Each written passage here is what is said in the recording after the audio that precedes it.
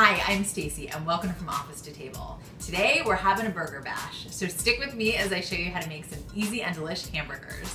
Okay, so the first thing we're gonna do is caramelize our onions. People think this is difficult and actually it's super easy. The only thing you need is a little bit of time and patience and the result is amazing. Caramelized onions have that great smoky flavor that tastes so delicious on burgers. And here's all you have to do. You coat a pan with a little bit of olive oil and butter cut up some onions and throw them in there. Stir them a couple times, a little bit of salt, probably about 25 minutes. And that is it. Low to medium heat. It's super easy. You can find all the details from officetotable.com. But basically, you just use a couple of these big white or yellow onions, slice them up, and you put them in the pan. And that's it. And the result is so delicious. Now, chopping onions. This is probably the hardest part. You don't want to be crying with those stingy eyes. I know, I get it. I have tried everything. I've put on my son's swim goggles, I've lit a candle in the kitchen, nothing works. But I have found these goggles online. These are called Onion Goggles Tear Free. Find them, they're amazing. I think I got them on like Amazon or something. They have this suction inside. You put them on, they suck to your face, but I'm telling you they work and you will not cry at all. So let's get our goggles, let's cut up our onions, and we'll throw them in the pan. Ready to go.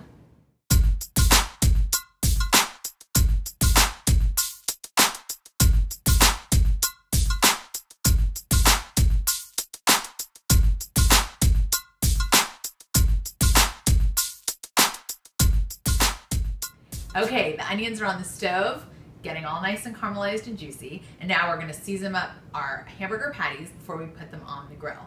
Everyone seasons their burgers differently. I think if you got really good quality meat, you do not need to season them too much. You wanna really be able to taste the burger. So I use a Lawry seasoning salt, a little bit of garlic salt, and a little bit of dried parsley flakes. They add a nice little tenderizing and a nice little flavor, but still you're able to really just taste the burger. And since we're gonna be putting on some caramelized onions, possibly some cheddar cheese, you just wanna keep it as light as possible. So let's season up this meat and get them on the grill.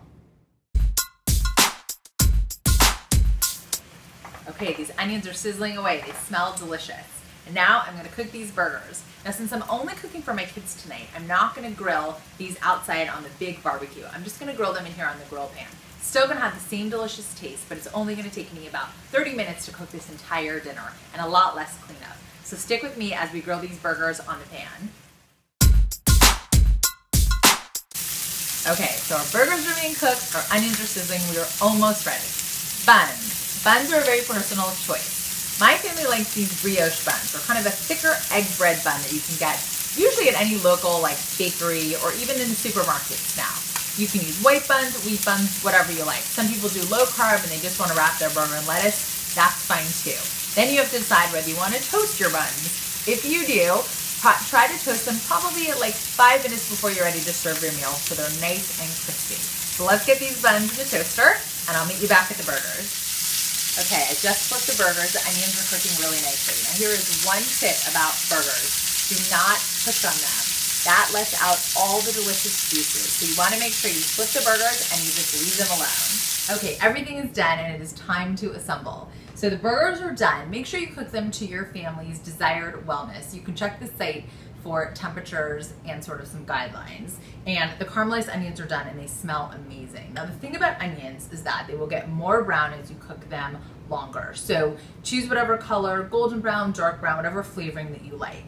And now we are going to assemble. So for the kids, I usually just do meat, lettuce, tomato, and bun.